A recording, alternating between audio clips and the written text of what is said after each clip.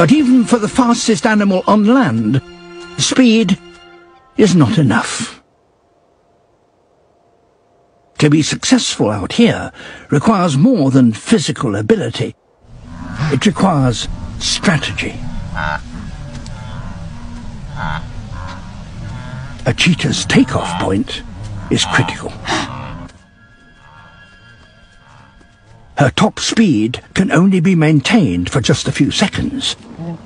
To be successful, she must get within just 30 meters of her prey, undetected.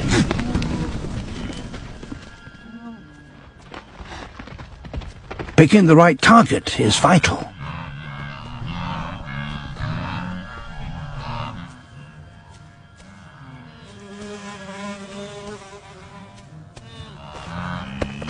Something small enough to handle.